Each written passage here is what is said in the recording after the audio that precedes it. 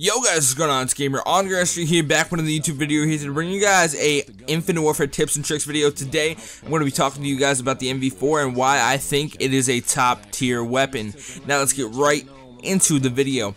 So the NV4, in my opinion, is literally a copycat version of the ACR. Now I'm going to tell you why I think it's at least a top 2 assault rifle within the game, and definitely top 1 or the best assault rifle when you're talking about guns that came for Infinite Warfare, not classic weapons. So the reason I say top 1 is because it outclasses literally every gun in the game. I'm talking about the K-Bar, the R3K, the Type 2, every assault rifle within the Infinite Warfare basis that actually came for Infinite Warfare. And granted, all guns came in Infinite Warfare, but those guns, the actual assault rifles, I feel the NV4 outclasses far, far, far ahead of every other weapon within the assault rifle category.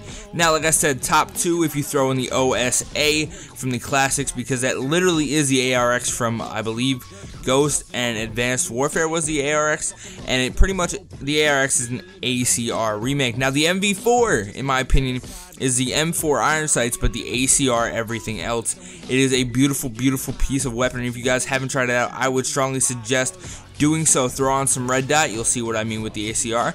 Throw on rifled barrel and throw on quick draw, and you will melt people.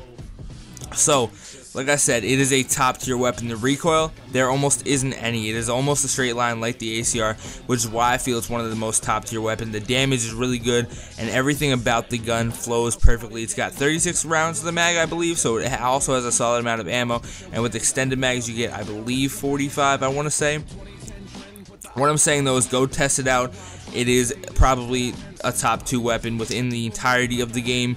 The only other guns, like I said, that can compete with it probably are the OSA and the assault rifle category, and the Mac Tab, which probably would be the only other gun I can actually foresee competing with anything, to be honest. And I haven't even used it. I've kind of just picked it up and, and killed a couple people with it. But the NV4, like I said, is probably the best gun within the assault rifle category and top two within the entire game. So go check it out if you guys haven't already. Also, like this video if you guys like the video. Comment, let me know what you guys think the best gun in the game is. And subscribe if you guys are new. I got a bunch of great videos coming soon. I'll see you guys later. Peace out.